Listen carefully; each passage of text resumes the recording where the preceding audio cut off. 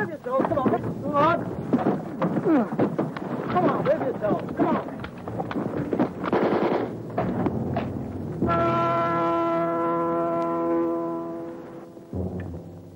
The seat, Sergeant Major wants me. Wait a moment. Here, grab this.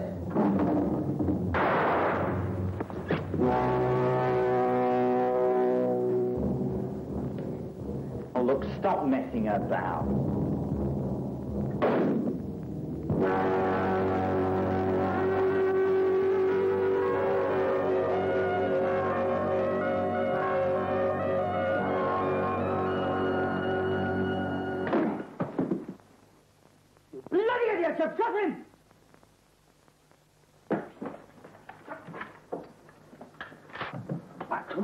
Christ's sake, Brady, did you hear what I said?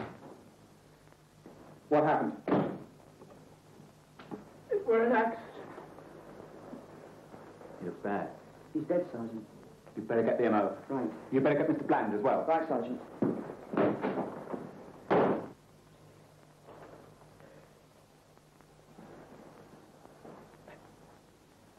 I don't believe he's dead.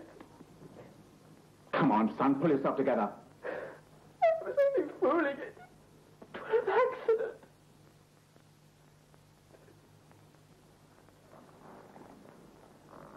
He's dead. I shall have to inform the coroner's office and the police. So don't move him. Right, sir.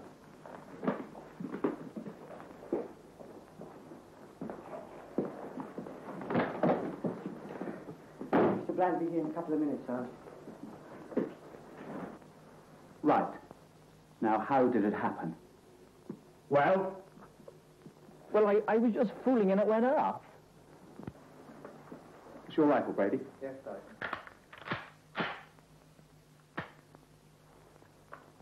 Why was it loaded, Brady? I don't know, Sergeant. I, I thought it was empty. You didn't check it to see it was safe? Excuse me, Sergeant. I had them checked at the loading bay. Who was in charge there? Sergeant Miller, he was with us all day, too. Carry on. Well, Sergeant? Well, sir, it seems that Brady and Lewis were fooling around. It was an accident, sir. Lewis was a mate of mine. I, I... Pull yourself together, Brady. Were you alone with Lewis? No, sir. Hinch and Thompson were here. Well, does Brady say, sir, an accident? That's true, sir. Were you fooling about with live ammunition? No, sir. We'd, we'd handed it all back. Well, how did a live round come to be in your rifle? Had you checked it? No, sir. God's sake. Excuse me, sir. Sergeant Miller checked our rifles. Then we cleaned them and checked them when we got back here.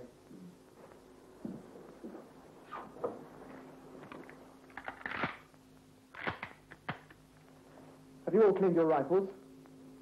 Well? No, sir. I, I didn't. Sergeant Gates, I'm off to see the adjutant. Have Sergeant Miller and these three men standing by. Right, sir. And you, sort yourself out, Brady. What's the matter with you, Bob? Didn't any of your training sink in? Right, come and get your ammunition.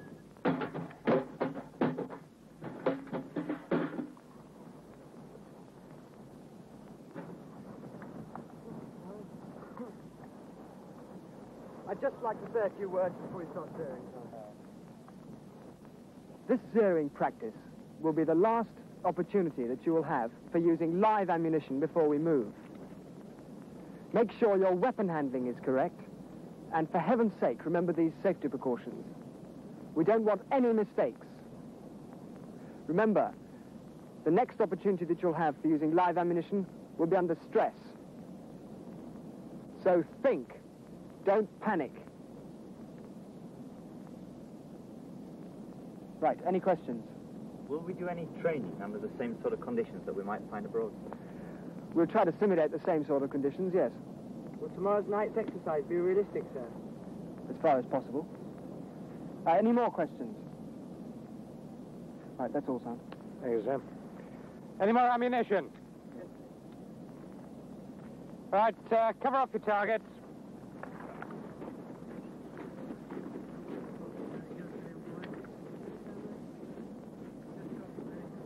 Remember the load. Remember to check your safety catch. Magazine of five rounds.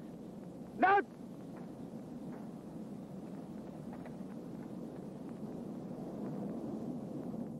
Line positions. Out!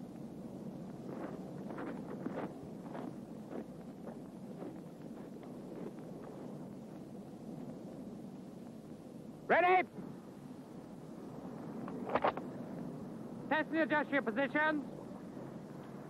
Anyone not ready? Five rounds grouping in your own time. Carry on.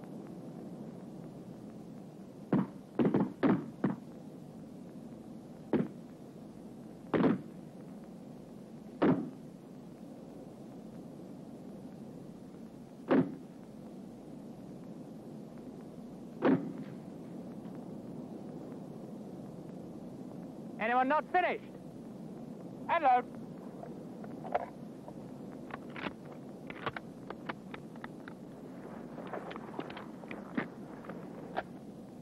Well, let's see if we can always be this good. If we're not, someone's going to get hurt.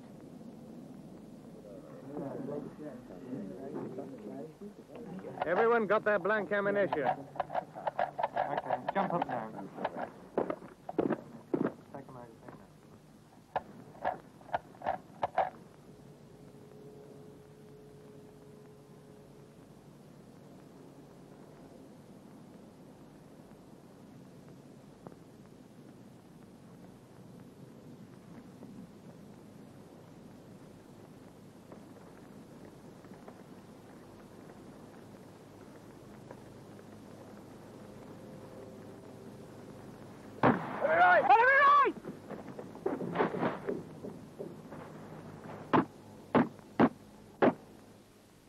Hello.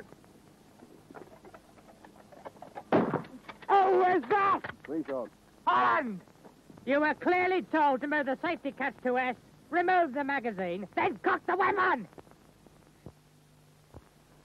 I wondered how long it'd take you lot to get overconfident and sloppy. Fortunately, this time no one got hurt. Next time you might not be so lucky. Now listen to me, all of you. Monday, we're off. We'll be in this sort of situation for real. None of you make believe, so concentrate.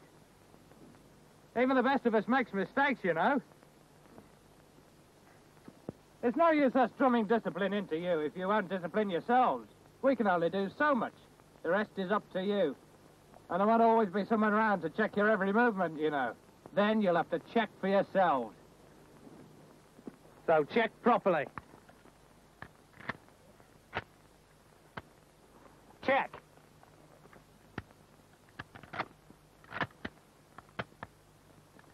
That's all right. I've just got one more thing to say. From now on, it's going to be live ammunition that you are using, not blank. Your life, my life, our lives could be in your hands. Right, off you go.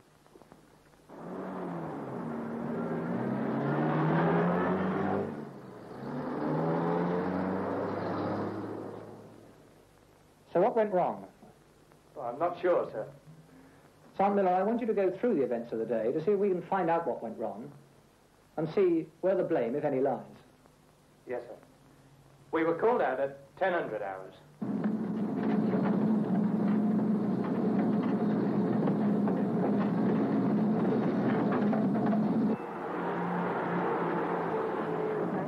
Things was very quiet for us, sir, and, and then we were ordered back to base.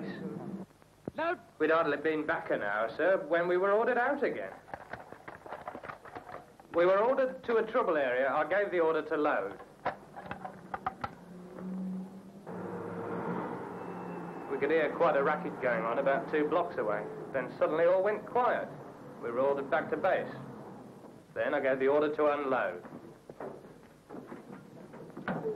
Get a move on! This sort of thing went on for most of the day. One minute it was quiet, and the next minute all hell broke loose.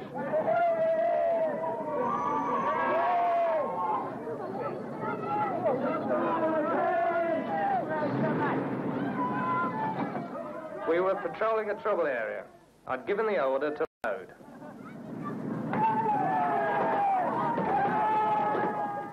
Then we had a spot of bother. Child ran across the road right in front of the lorry. Steady! Eh? That's it, sir. That's what, Brady? When the order ready was given. Is that right, Sergeant Miller? No, sir. But I heard it, sir. I gave no order, sir. Excuse me, sir. Yes, Hinch. I heard Sergeant Miller shout, steady, sir. Perhaps that's what Brady heard and thought it was the order ready, sir. Well, Sergeant Miller, is that so? That's right, sir. I shouted at the driver, steady on. Well, Brady? I don't know, sir. I, I thought it was the order. I, I must have panicked. I would like to point out, sir, we have been on duty ten hours. That's no excuse, Sergeant. Uh, no, sir. Uh, well, sir, we patrolled the area for about another hour, and then we was ordered back to base. Come on, let's have it, lads! Come on, then. Right, fall in three ranks. Brady, get the stretcher off the photon and put it in the hood. Right.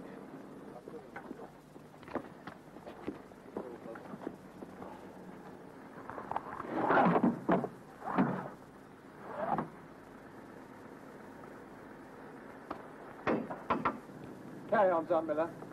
Hello. I gave the order to unload.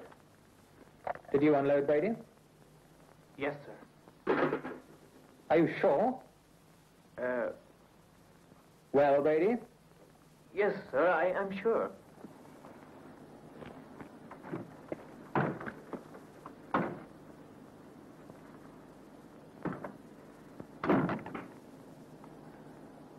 Right. Place your magazines in this box. Thompson, be careful. We're all tired, you know. Go on, please. What happened then, Sergeant? We went through the unloading bay, sir. So, in fact, your rifle wasn't cleared by Sergeant Miller. No, sir.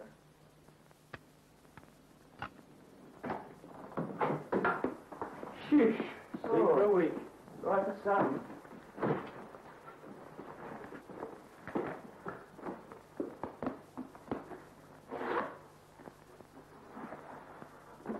Hey, look at King Ted there, the number one bull merchant.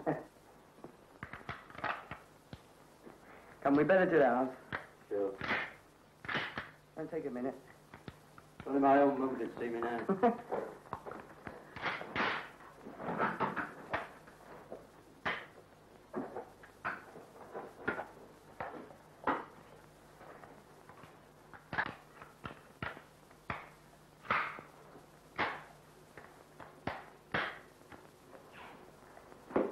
Mine in your rack, Ted.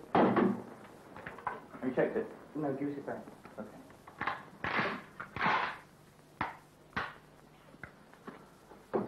hey, if you're feeling that energetic, you can take mine. You checked it? What do you want, blood? I've checked it and cleaned it.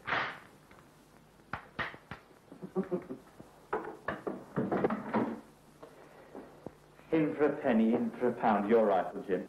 Have you cleaned it? No, I'm too tired. I'll, do it tomorrow. Well, give me your rifle. I've got to get them locked up. You want it? You take it. Oh, look, look, stop messing about.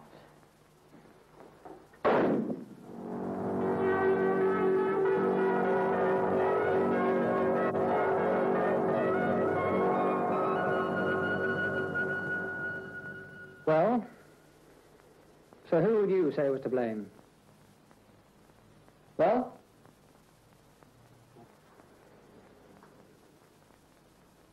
Well? Well, it certainly wasn't my fault. No. Poor Brady. I suppose he'll be sent back to England now. Yeah, poor old Brady. It had to be him. He's only an office clerk. What does he know about rifles? As much as you, me, Lewis. Adjutant was right. We're all to blame in one way or the other. Brady because he was in a panic, didn't think or check, and didn't bother afterwards because he was tired. The lance corporal for calling Brady out of line, not reminding him to go and clear his weapon.